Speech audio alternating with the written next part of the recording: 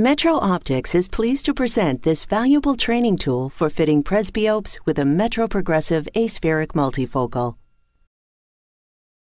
The Metro Progressive Multifocal is an aspheric designed for presbyopic patients who require near, intermediate, and distance vision.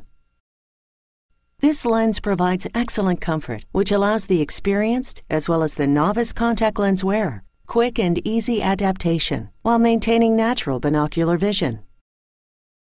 Up to two and three quarter diopters of add power is available for the patient, making this a great lens for the emerging to moderate presbyope. The Metro Progressive Multifocal Lens is an aspheric design with a small 2 mm spherical center portion that's responsible for providing clear distance vision. Progressing from the spherical center into the peripheral bevel is an aspheric curve that allows for the alignment with the flatter peripheral cornea and creates the near add power of up to 2 diopters. For patients who need between 2 and 2 and 3 quarter diopters of add power, consider the Enhanced Metro Progressive. The Enhanced Metro Progressive has a front curve geometry that increases the lens add power up to 2 and 3 quarter diopters. While many patients can benefit from the Metro Progressive multifocal lens, there are some candidates who would be considered ideal. These candidates include those patients who require an add power of up to 2 and 3 quarter diopters, have no more than 3 diopters of with the rule corneal astigmatism, and whose near tasks are at or above eye level, such as computer users. While the Metro Progressive lens will work for many patients, some may pose a greater challenge than others. Those candidates who may be better suited for another presbyopic lens option are those with moderate amounts of against the rule corneal astigmatism, since their lenses traditionally will not center well. Those patients may do better with a segmented lens design, such as the MetroSeg Crescent Bifocal. Also, patients who do not require any distance corrections and who may not feel the need to wear their correction on a full-time basis may do better with a different lens design or material. Aspheric lens designs have proven very successful for presbyopic patients. They generally result in quick adaptation, allowing the patient to experience immediate results, and the benefit to the practitioner is that they're easy to fit. To get the best results with aspheric multifocals, practitioners should have an understanding of their unique design. For instance, to provide the progressive optics that range from intermediate to near, the curvature on the posterior surface of the lens flattens very quickly from the center of the lens to the periphery. This results in the lens whose central portion may appear very steep when it's compared to a traditionally GP fit lens. It's important to keep in mind that the central optical base curve, while very steep, is not where the lens actually fits. Since the lens flattens at a rapid rate, the fitting portion of a lens at its mid-periphery is much more similar to that of a traditional RGP lens. The lens must have good centration in order to provide the patient with the full range of powers. Because the lens flattens so quickly into the periphery, flat-fitting Metro Progressive lens may cause spectacle blur when fit close to the flat K. The use of a diagnostic lens set is not required to successfully fit the Metro Progressive lens, and the lens can easily be fit using our nomogram, or you can call the consultants at Metro Optics for assistance. The Metro Progressive lens design flattens as it moves to the periphery, because of this, the lens must fit at least 1 and 3 quarter diopter steeper than the flattest K reading, or about 1 and 3 quarter diopter steeper than the best fitting GP lens base curve. The choice of the base curve is dependent upon the amount of cylinder found on the patient's cornea. Keep in mind that while these designs are fit quite steeply, this is only for the central 2 mm optical portion of the lens. The lens flattens into the periphery and fits in much the same way as a traditional spherical lens.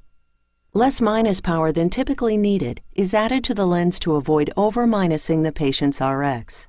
The fitting nomogram will guide you to the most appropriate distance correction.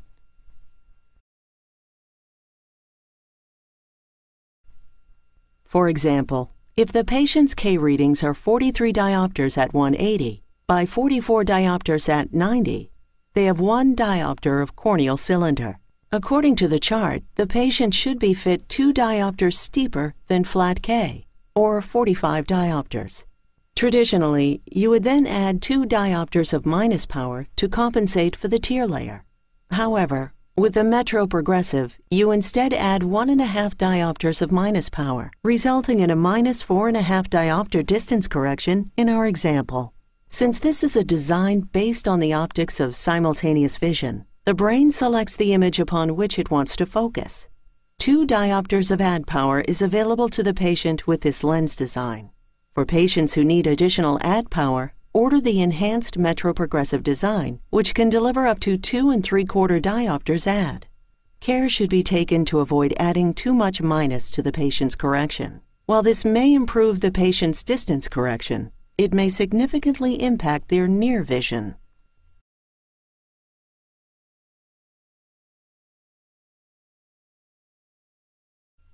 The overall diameter of the lens is based on the base curve chosen. The steeper the lens, the smaller the diameter. The flatter the lens, the larger the diameter. But any lens diameter that results in the best centration of lens to cornea relationship can be designed. The chart is simply a starting point. If the patient is currently wearing GP lens that provide good centration, calculations for the new Metro Progressive lens can be made from their current parameters. Making the adjustment suggested in this table will result in a lens that fits the same for the patient and also provides the near vision that they require.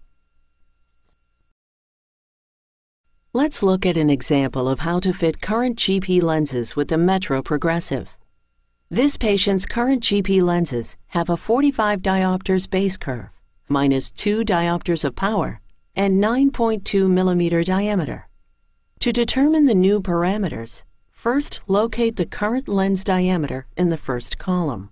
The table suggests that a 9.2 millimeter diameter lens should be fit 1 and 3 quarter diopters steeper than the previous base curve, resulting in a new base curve of 46 and 3 quarter diopters. Then adjust the power by adding 1 and a quarter diopters of minus power to the previous power, resulting in a new power of minus 3 and a quarter diopters.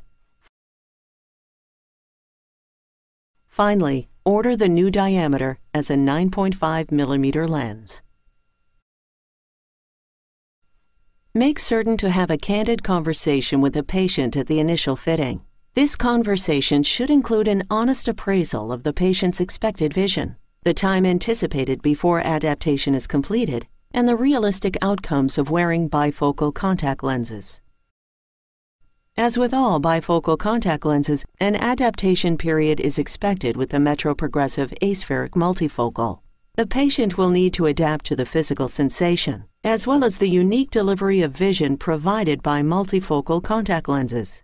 Changes made too early can lead to greater problems, since changes are being made on misleading information. Vision will improve after initial adaptation period, but the patient should be told to initially wear the lenses in familiar and safe surroundings until they're comfortable with the lenses and their new vision. As with all simultaneous vision bifocals, the lens must center well in order to provide the patient with the full range of powers. The steps that are normally taken with a traditional GP lens to improve centration should be employed with a Metro Progressive lens. The fluorescein pattern should show a slight central vault of 3 mm in size, with the remainder of the lens in alignment with the cornea. When evaluating the fluorescein, it's recommended that the blue cobalt filter and the yellow Wratten number 12 filter are used. The fluorescein pattern should show a slight green band at the lens edge, indicating adequate edge lift. A slight central 3 mm pool in the middle of the lens outlines the spherical optical zone. The even distribution remaining under the rest of the lens indicates the alignment fitting achieved by the lens. Evaluate the patient's vision binocular for both near and distance. If the patient is not achieving their best visual potential, first evaluate the lens position to make certain that the lens is properly centered. If the fit is acceptable, perform an over-refraction with a trial frame in a well-lit room. This will best simulate real-world vision and keep the patient's pupil at its normal size. Emphasis should be placed on the patient achieving the best binocular vision for near and distance, rather than trying to find to each eye the near and the distance. It may be necessary to maintain more plus power, resulting in binocular distance vision at 2025 in order to achieve 20/20 binocular for both near and distance. Following the nomograms designed by Metro Optics should eliminate the majority of the problems before they even occur. However, there still may be those situations that can be improved upon. If the patient complains of poor vision when they switch to their spectacles, it's most often because a lens has been fit too flat. If this is the case, steepen the base curve by a half diopter and increase the minus power in the lens accordingly. If the lens doesn't center, this will interfere with the distance vision. If an over-refraction is performed, it may show that there is an addition to the minus power needed, but that will not solve the problem long term. If the poor vision is due to a lens that rides too low, lenticulate the lens to improve the lens to lid interaction, or flatten the base curve by a half diopter and adjust the lens power accordingly. If the lens rides too high on the cornea, it will also interfere with the vision. The best way to bring a high riding lens down into a more center position is to reorder the lens with prism ballast. If the lens centers and the distance vision is good, and if the patient is still not able to get adequate near vision, it is possible to have additional plus power placed on the interior surface of the lens. If that still does not result in adequate near vision, it may be that the Metro Progressive is not the appropriate lens for this patient. In this case, the Metro Seg crescent bifocal lens may be considered if the patient has the appropriate physical features. If the lens is moving excessively, vision will be poor at both near and distance. The lens needs to be settled down, and this is easily accomplished by ordering a lens 0.3 millimeter larger in diameter or steepening the base curve by a half a diopter and compensating for RX appropriately. The wide range of parameters available for the Metro Progressive lens allows the contact lens professional to custom fit any presbyopic patient. We offer the Metro Progressive in any major brand material. Selection of a specific material is based on individual patient need or doctor preference. The Metro Progressive Aspheric Multifocal presents a solid option for emerging to moderate presbyopes that maintains a patient's natural binocular vision. It simultaneously provides near, intermediate, and distance vision and it has a simple fitting technique that requires no diagnostic lenses.